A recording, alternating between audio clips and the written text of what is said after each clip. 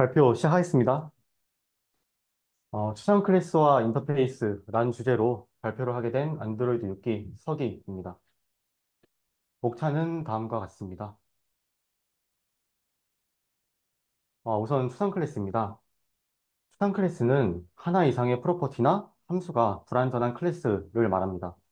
함수 signature만 적거나 변수의 타입만 적는 경우 해당 참조를 abstract로 선언해주고 그 참조가 속한 클래스에도 abstract 변경자를 붙여 주어야 합니다.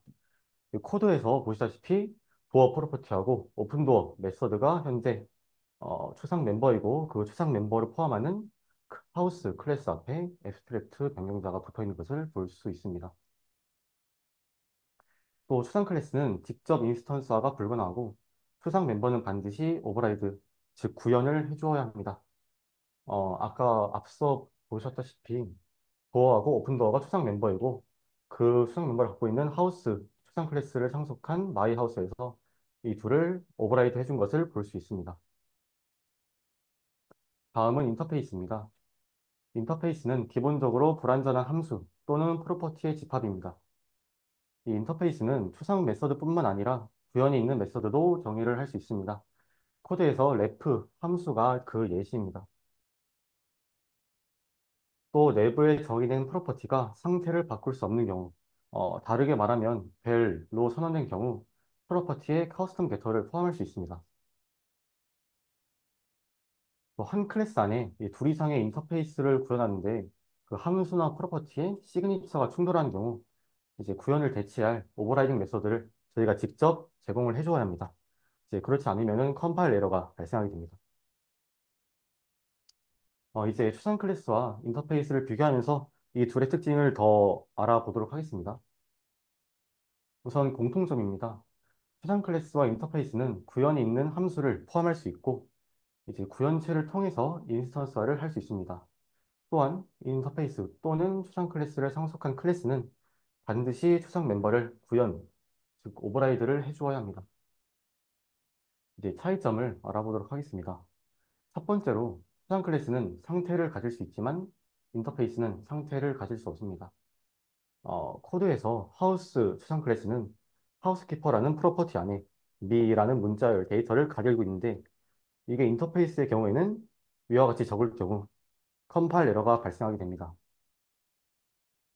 또 추상 클래스는 생성자를 가질 수 있습니다. 뭐 다르게 말하면 인터페이스는 가질 수 없다라는 의미겠죠. 뭐 역시 인터페이스도 생성자가 있으면은 컴파일 에러가 발생합니다.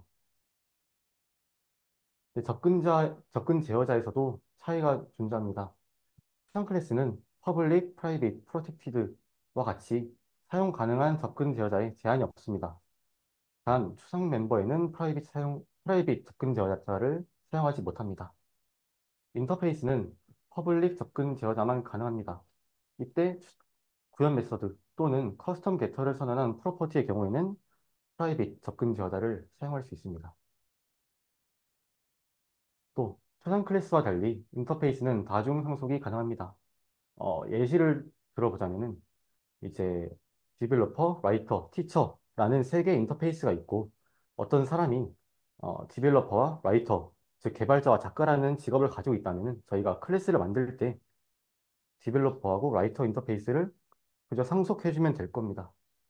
이때 이 사람의 직업이 개발자 대신에 선생님이라는 직업을 가지게 된다면 저희는 그저 디벨로퍼 자리에 티처라는 인터페이스를 상속시켜주면 됩니다. 근데 이런 경우를 만약 추상 클래스로 구현을 하게 된다면 저희는 최악의 경우 이 화면에 보시다시피 약 7가지의 경우를 모두 고려하고 구현을 해줘야 합니다. 이걸 정리해서 말씀드리면은 만약 n개의 속성, 앞에서는 writer, developer, teacher가 속성이었습니다. n개의 속성이 있다면 지원해야 할 조합의 수, 즉 고려해야 할 조합의 수는 2의 n제곱 마이너스 1개다 라고 말할 수 있습니다. 이것을 저희는 조합 폭발이라고도 말합니다. 또 새로운 타입을 정의하는 데 있어서도 차이가 존재합니다. 추상 클래스를 사용할 경우 정의한 타입을 구현하는 클래스는 추상 클래스의 하위 클래스, 즉 부모, 자식 관계이어야 하고 그렇기 때문에 새로운 타입을 정의하는데 제약이 존재합니다. 인터페이스를 사용할 경우는, 경우는 선언한 method를 모두 정의하고 일반 규약을 잘 지킨 클래스라면 어떤 클래스를 상속했든 같은 타입으로 취급하고 앞에서 말씀드렸다시피 다중, 다중 상속이 가능하며 클래스 간의 형제 관계를 맺어줍니다. 어, 예시를 통해서 좀 더 살펴보자면 어, insect와 criminal, 즉 곤충하고 범죄자라는 추상 클래스가 있고 이 각각을 mosquito, thief라는 클래스가 상속을 하고 있습니다. 이때 저희가 이 mosquito하고 thief, 즉 어, 모기하고 도둑이라는 클래스를 같은 타입으로 묶어주고 싶다면은 어, 떻게 해야 될까요? 음, 일단 각각의 클래스가 이미 추상 클래스를 상속하고 있기 때문에 더 이상의 추상 클래스를 사용하지 못합니다. 그래서 이러한 경우 저희는 이제 공통된 인터페이스를 상속시킴으로써 관계를 형성할 수 있습니다. 앞에서 말씀드렸던 형제 관계라고도 말씀할, 말할 수 있습니다. 또 역할에서도 차이가 존재하는데요. 추상 클래스는 추상화를 통해 중복되는 클래스 멤버들을 통합 및 확장하고 클래스 간의 연관 관계를 구축하는 것에 초점을 둡니다. 인터페이스는 클래스의 계층 구조에 대한 제한 없이 다양한 클래스들이 공통적으로 가져야 할 동작을 정의하는 데 초점을 둡니다. 이걸 좀 요약해서 말씀드리자면 추상 클래스는 기능 및 구현 등의 공통 부분을 묻기 위한 역할이다.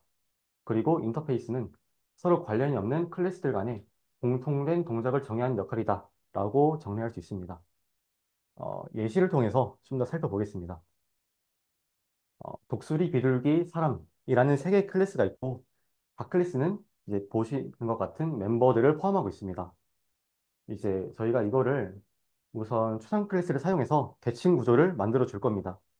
그러면 첫 번째로 저희는 각 멤버들 중 어떤 부분이 공통적으로 존재하는지를 네, 살펴봐야 됩니다. 어, 우선 먹는다와 잔다 method는 이 세 개 클래스에 공통적으로 존재합니다. 그리고 깃털, 날다 method는 독수리와 비둘기에 공통적으로 존재합니다.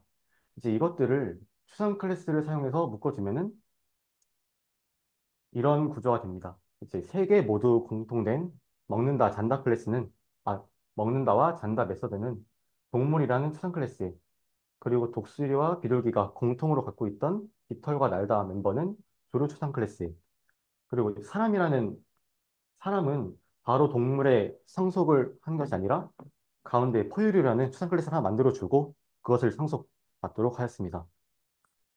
뭐 지금까지는 문제가 없는데 만약 여기서 타조라는 것이 추가된다면 어떻게 될까요?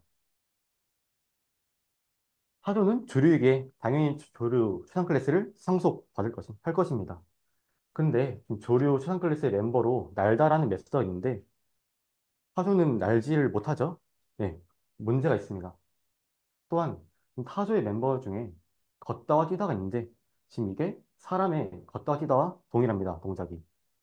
그래서 저희는 이것을 해결해 주기 위해서 인터페이스를 사용해서 이제 더 이상 공통된 멤버가 아닌 날다라, 날다 메서드와 같은 동작인 걷다와 뛰다를 인터페이스를 분리하고 각각의 인터페이스를 이 동작이 필요로 한 클래스들에게 상속을 시켜주면 이 문제가 해결이 됩니다.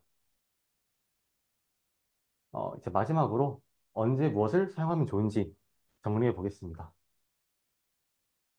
해당 클래스는 밀접하게 관련된 여러 클래스 간의 코드를 공유하고 싶은 경우나 클래스들이 공통적인 필드나, 필드나 method가 많은 경우 또는 멤버의 public 이외의 접근 제어자를 사용하고 싶은 경우 그리고 마지막으로 단순한 중복, 중복 멤버 제거를 떠나서 이제 클래스 간에 명확한 계층 구조가 필요한 경우 저희가 추상 클래스 사용을 고려할 수 있습니다.